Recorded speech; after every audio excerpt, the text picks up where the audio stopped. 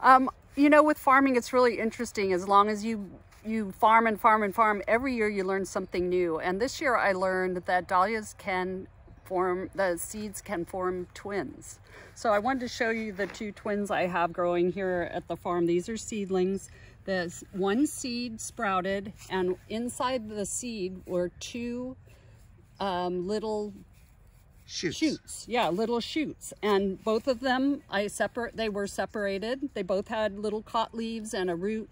And then I planted them out. And um, these are these are twins going here. And I'd never heard of that before. I think I saw on Instagram someone that had a twin. I thought, wow, that is really interesting. I never heard of that. And then my friend Patricia. Um, she got a pair of twins. So now we're working with um, my friend Patricia and these sets of twins.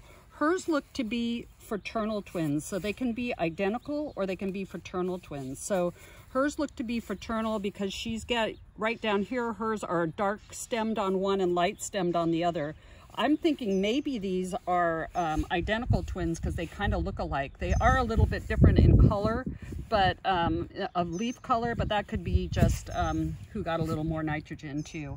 But anyway, we'll keep you up to date on these um, and uh, we'll as as when they bloom. Hopefully they'll bloom and the gophers won't get them in the meantime. And um, we'll keep you up to date on it because I'm pretty excited about it too.